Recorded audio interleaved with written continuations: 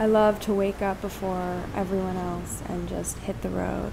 It's such a freeing experience. You can just be yourself and you feel part of something else, something bigger.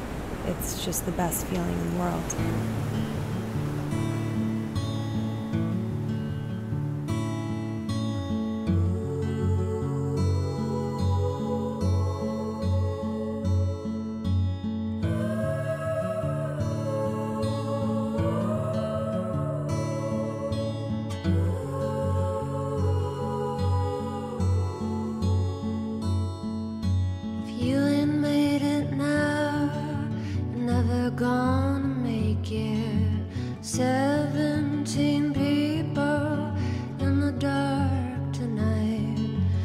see some familiar faces behind the cellular lights.